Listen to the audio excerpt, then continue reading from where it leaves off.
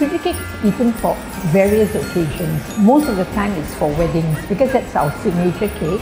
We use it for uh, baptism, anniversaries, birthdays, all occasions. My name is Mary Gomes. I've been in the cafe business for the past 15 years. Mary's Kafe is spelled with a K. That's the Eurasian way of spelling cafe.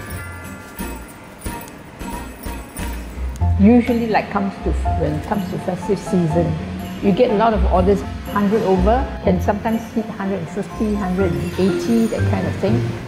When I first started learning how to make the cake, there were a lot of failures you know, the cake rise and suddenly it just sinks, which means that the person who gave me the recipe didn't give me the actual recipe. Every household have their own and they keep it a family secret. They never share the recipe. And sad to say also, during that time, my, my, my mother didn't know how to make that cake also.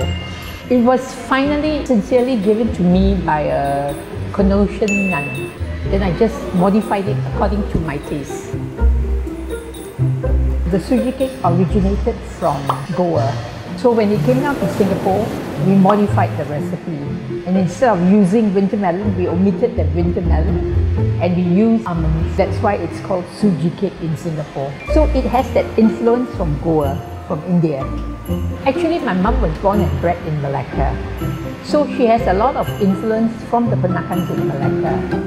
We have a little bit from the Chinese influence. We also have a little bit of Malay influence. Chinese influence, we make chap chye. Malay influence, there's a rempah base, and then we use a little bit of curry powder. We even have like English, we have our stews, we have our rolls. So it, it makes up of the various uh, different races, you know, to form our culture.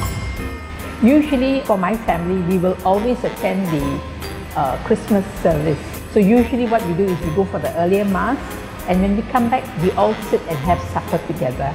And then exactly midnight, we will exchange gifts and wish each other, that sort of thing. Merry Christmas and Happy New Year. Bom Natal.